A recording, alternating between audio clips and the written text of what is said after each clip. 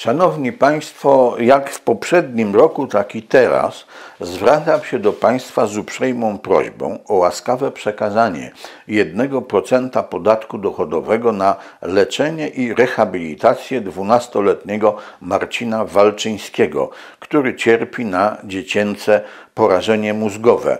W ubiegłym roku dzięki Państwa hojności udało się zebrać kilka tysięcy złotych. Pieniądze należy przekazać na rzecz Fundacji Dzieciom Zdążyć z Pomocą y, KRS 00030037904 z dopiskiem na leczenie i rehabilitację Marcina Walczyńskiego. Dziękuję bardzo. Proszę Państwa, no takiej dekompozycji w obozie dobrej zmiany to już dawno nie było. Właściwie nigdy nie było. Nie dość, że toczą się walki frakcyjne między trzema frakcjami o schedę y, po Jarosławie Kaczyńskim, naczelniku naszego państwa. Przypomnę, że to jest frakcja skupiona wokół premiera Mateusza Morawieckiego, druga frakcja skupiona y, wokół ministra Ziobry i trzecia frakcja skupiona wokół y, wicepremiera pobożnego Jarosława Gowina. No i Jarosław Gowin już tam wyraził zaniepokojenie, nawet dezaprobatę dla tych niektórych reform wymiaru sprawiedliwości. No i czekamy z niepokojem na to, co Europejski Trybunał Sprawiedliwości wymyśli na temat wyjaśnień, wyjaśnień, jakie rząd złożył 13 lutego w tej sprawie, znaczy przede wszystkim w sprawie Izby Dyscyplinarnej Sądu Najwyższego. To jest główna kość niezgody. No, trudno się dziwić, że sędziowie patrzą na to nieżyczliwie, bo tam zostali wzięci do galopu. Oczywiście rząd by tego bata używał, że tak powiem, czy nadużywał do y, celów y, bieżącej polityki, a nawet do walk frakcyjnych. No więc te walki frakcyjne, a na to wszystko nakłada się jeszcze sprawa pana Mariana Banasia, prezesa Najwyższej Izby Kontroli, do którego mieszkań wkroczyło Centralne Biuro Antykorupcyjne, funkcjonariusze tam, o, to wejście smoka takie zrobili, pan Banaś, jak tutaj czytamy, ostatecznie zgodził się na wejście agentów do gabinetu w siedzibie Izby. No to pewnie, że się zgodził, każdy by się zgodził, bo i tak by weszli nawet bez zgody, więc to pytanie tylko, jak to wygląda z punktu widzenia prawnego, bo Y, o ile mi wiadomo, to prezes Najwyższej Izby Kontroli y, korzysta z immunitetu. A tutaj y, jest, no tam już nie tylko, że jego, ale i syna prześwietlają, ale tutaj podobno białostocka prokuratura zleciła przeszukanie mieszkań prezesa Najwyższej Izby Kontroli i jego rodziny, a także innych lokali i tak. No więc pytanie takie, co to, jak to się ma do immunitetu prezesa Najwyższej Izby Kontroli, bo ten immunitet może mu uchylić Sejm, a nie przypominam sobie, żeby Sejm się na ten temat w ogóle wypowiadał, na temat immunitetu pana prezesa Banasia, więc najwyraźniej mamy do czynienia z jakąś samowolką. I wraca y, pytanie, co takiego, z czym takim mógł się zapo- groźnym mógł się zapoznać, czy mógłby się zapoznać pan Marian Banaś jako prezes Najwyższej Izby Kontroli, że aż trzeba tak w pośpiechu e, tam robić u niego rewizję. Czego właściwie ci funkcjonariusze Centralnego Biura Antykorupcyjnego tam szukają? Czy to znaleźli, a jak znaleźli, to jaki użytek z tego zrobią? Przypomnę, że to takie rzeczy się zdarzały. Komisja Michnika, która na początku transformacji ustrojowej buszowała po archiwach Ministerstwa Spraw Wewnętrznych, nie zostawiła po sobie żadnych śladów, tak no nie wiadomo czego szukała, czy to znalazła, jaki użytek z tego zrobiła. No przypadkowo wiem, że teczka profesora Bronisława Gremka, która w tym archiwum się znajdowała, okazało się, że po wizycie Komisji Michnika w archiwum Ministerstwa Spraw Wewnętrznych ta teczka się składała z samych okładek. Także bardzo możliwe, że tutaj jakieś takie e, ciekawostki Komisja Michnika znalazła. Oczywiście żadnego sprawozdania nie ogłosiła. No i tu jeszcze jedna, jedna rzecz się nasuwa, proszę Państwa. No, pan Marian Banaś nigdy by nie był w stanie objąć e, tego stanowiska, to znaczy stanowiska prezesa Najwyższej Izby Kontroli, gdyby nie był osobą zaufaną naczelnika państwa. No, musiał czymś naczelnika państwa oczarować. No a teraz najwyraźniej czymś go rozczarował i to bardzo głęboko, y, skoro prokuratura w Białostocka podległa przecież prokuratorowi generalnemu Zbigniewowi Ziobrze, ministrowi sprawiedliwości, przechodzi do porządku nad immunitetem prezesa Najwyższej Izby Kontroli, y, no i tam urządza buszowanie po, nie tylko po jego gabinetach i mieszkaniach, ale również po y, mieszkaniach jego rodziny. Oczywiście niczego nie znajdzie, jak przypuszczam, bo nie sądzę, żeby Y, znaczy, powiem tak, ja jakbym miał coś takiego trzymać, co budzi żywy niepokój naczelnika państwa i jego otoczenia, y, no to bym nie trzymał tego przecież w domu ani w gabinecie, tylko w takim miejscu, y, które bym uznał za bezpieczne. Myślę, że pan prezes Banaś nie jest głupszy ode mnie, mądrzejszy, bo to on jest prezesem Najwyższej Izby Kontroli, a nie ja, więc na pewno nie niewiele centralne biuro antykorupcyjne tam znajdzie, no ale co się narewiduje, to się narewiduje. Tu będą mieli wszyscy y, temat zastępczy, y, podobnie jak y, w sprawie szefowej sztabu wyborczego pana prezydenta Dudy, pani mecenas, no nomina sunt nie będę tutaj nazwisk wymieniał, bo już jedna sprawa przed Urzędem e, Ochrony Danych Osobowych mi wystarczy, ale przecież pojawiły się niepokojące doniesienia, że e, pani mecenas ugryzła kogoś. No to oczywiście zbrodnia to niesłychana trzeba by zbadać tylko, czy była uprzednio szczepiona przeciwko wściekliźnie, bo to jakby nie, no to rzeczywiście grozi to epidemią na podobieństwo epidemii koronawirusa. Ale jeśli była szczepiona, no to nic tam się w końcu nie stało, bo tam ugryzła tego jego mościa, ale nie odgryzła mu niczego, więc to nie ma co tak się.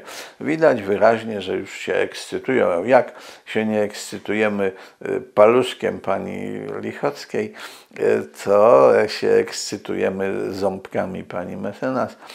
No i oczywiście panem Banasiem. A tu proszę państwa, dzieją się rzeczy ważne. Doradcą kandydata na prezydenta Roberta Biedronia został Stanisław Ciosek. Stanisław Ciosek znany jest z tego, że no był, e, najpierw był takim e, sekretarzem od organizacji młodzieżowych, a potem jak już się troszeczkę tam postarzał, to został ambasadorem w Moskwie. Chyba jeszcze wcześniej był takim w Komitecie Centralnym PZPR od związków zawodowych i tam się zajmował Solidarnością, to znaczy jakby tutaj tę Solidarność rozwalić. No a potem chyba został ambasadorem e, w Moskwie. E, no i tu e, później doradzał, ach, komu nie doradzał, wszystkim doradzał. I co pan Biedroń nie posiada się z radości, powiada, to dla mnie ogromny zaszczyt, że mogę dzisiaj Państwu przedstawić w gronie moich doradców osobę wybitną, która wiele lat spędziła doradzając jako główny doradca, czyli doradca doskonały, do spraw międzynarodowych i polityki wschodniej najlepszemu prezydentowi III RP. No, to jest bardzo wątpliwe. Ja na przykład uważam e, Aleksandra Kwaśniewskiego, bo o nim mowa, za człowieka prawdziwą katastrofę dla Polski.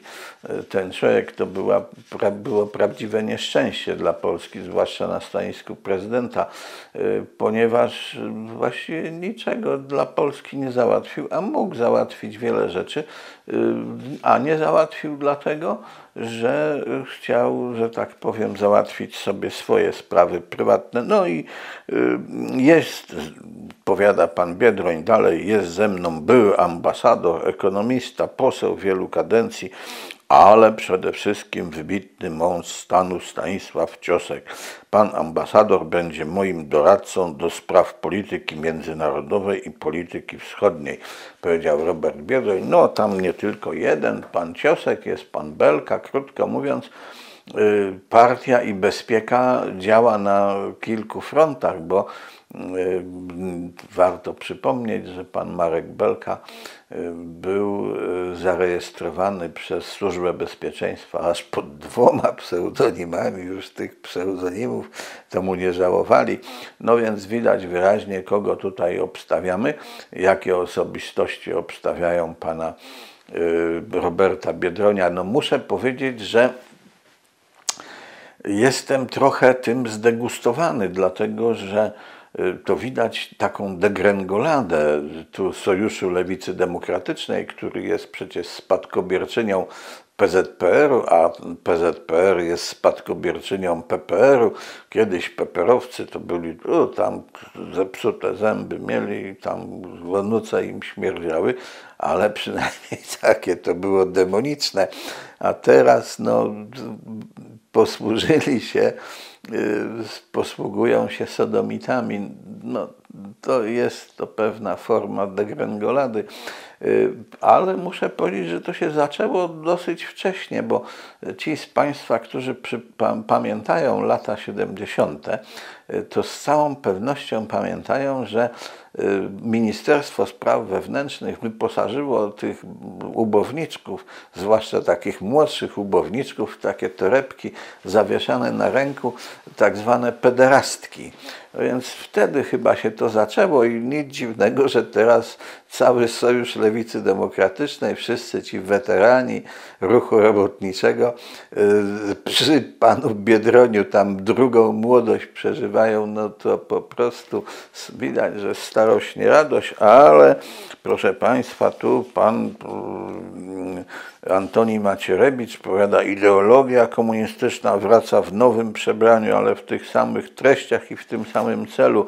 To oczywiście, że to do, do, będą się porozumiewać z Rosją, ze złym Putinem, ale myślę, że minister Macierewicz przesadza. Jaki tam pana Biedronia ideolog komunistyczny? On tam tak kombinuje, żeby tu jakby tutaj mm, sobie ulżyć, więc to z komunizmem specjalnego dużego powiązania nie ma. No oczywiście komunizm jasne, proszę Państwa, działa, na, stara się, rewolucja komunistyczna stara się doprowadzić do destrukcji organicznych więzi społecznych, między innymi przy łące sodomitów, ale powiedzmy sobie, e, no Rosja też, no każde państwo mm, próbuje inne, mm, inne państwa destabilizować, zwłaszcza jak je uważa za nieprzyjazne, a Rosja Polskę chyba uważa rzeczywiście za państwo nieprzyjazne,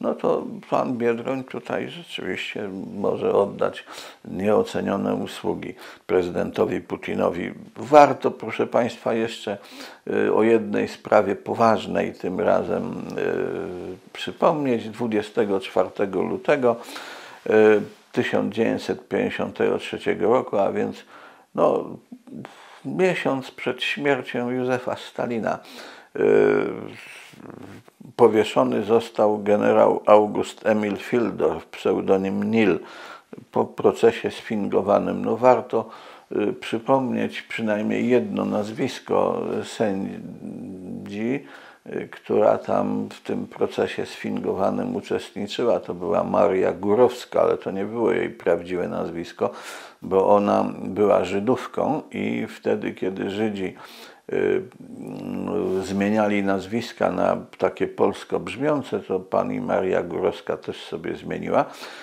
No i dlatego o niej wspominam, żeby zwrócić uwagę Państwa na to, że Żydzi nie tylko byli ofiarami rozmaitych totalitaryzmów, y, ale też tym totalitaryzmom się wysługiwali jako pomocnicy, a nawet jako zbrodniarze sądowi. I pani Maria Górowska, której zresztą nikt nie ruchnął aż do śmierci. Umarła śmiercią naturalną, a szkoda, że nikt jej nie ruchnął, bo powinna zostać ruchnięta, y, mimo transformacji ustrojowej. Więc to jest ciekawa rzecz, że Y, tam Żydów nie ruszamy, na wszelki wypadek Żydów nie ruszamy, nawet jeśli ich zbrodnie są dla każdego oczywiste i są, jest mnóstwo dowodów na to, no to się okazało, że, że pani Górowska nie.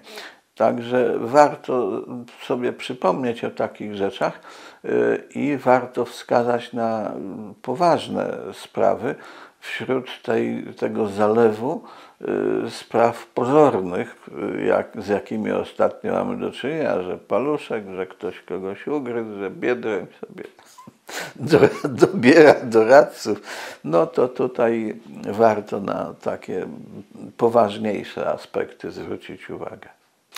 Proszę Państwa, jak Państwo wiecie, wyjeżdżam na różne spotkania na terenie całej Polski. No i wielu z Państwa jest zainteresowanych y, terminami i miejscowościami, gdzie to się odbywa, pod jakim adresem, w jakiej sali, o której godzinie i tak dalej. Wszystkie te informacje można znaleźć na mojej stronie internetowej www.michal.michalkiewicz.pl y, pod y, hasłem spotkania. Zapraszam.